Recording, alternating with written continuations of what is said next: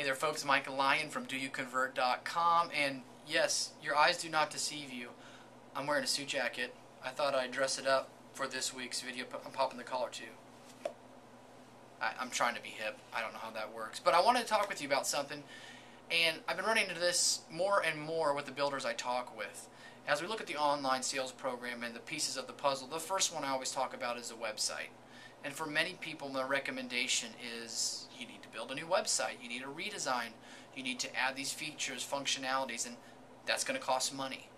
And you see people start to, you know, pucker up, you know what I'm talking about. They go, oh, I just don't want to spend any more money. Or they say, Mike, we just redesigned a year ago, we just redesigned two years ago, we spent 15, 20 grand, 5 grand this year. I don't want to spend any more money on this. But let's look at the fundamental difference of what's happened in consumer behavior. It used to be have your model home set up, your traffic would walk in the door, you could see 20 to 30 people coming in per week per model home, maybe it was more than that. And you spend all this money keeping this model home because that's the only place they could gather information. Well, what's happening now? Less people are coming into the model home. It's a quarter of what it was before, 10% of what it was before. Yet online traffic has increased. And if you look at the numbers of what some builders might have, even small builders, one, two, three, four model homes that they're constantly having open and furnishing and paying the bills on, that can turn into thousands and thousands of dollars per month. I mean, one model home starts at two grand a month to keep open and goes to five grand. So you'll see a lot of builders spending more in one month on model homes than they do on their website for three years. Yet most of the first visits are on their website. So, do you see what's happening there? There's a big disconnect. Now, I'm not saying shut down all your model homes. Please do not misunderstand me.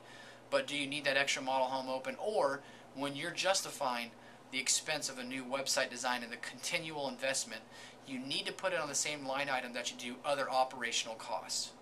And that's a big difference.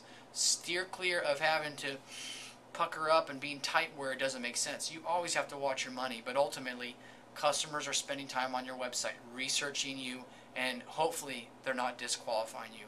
So, you know, internet years, they're like dog years. If your website's more than two years old, it's time to start thinking about a refresh, a revamp, and don't be too tight with your money when it comes to places that make a huge difference. If you were just to pick one marketing source to invest a good amount of your money, it would be the website because it can be used so many different ways. It's you can send it via email on the phone. You can talk about it. You give them the information. It's on the brochure. It's on your business cards. It's on the letterheads, envelopes. It's on the invoices. You name it.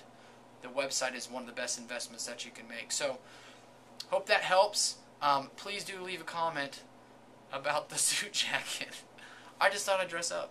That's all. I just want to dress up. Everybody have a great day, and I'll talk with you soon.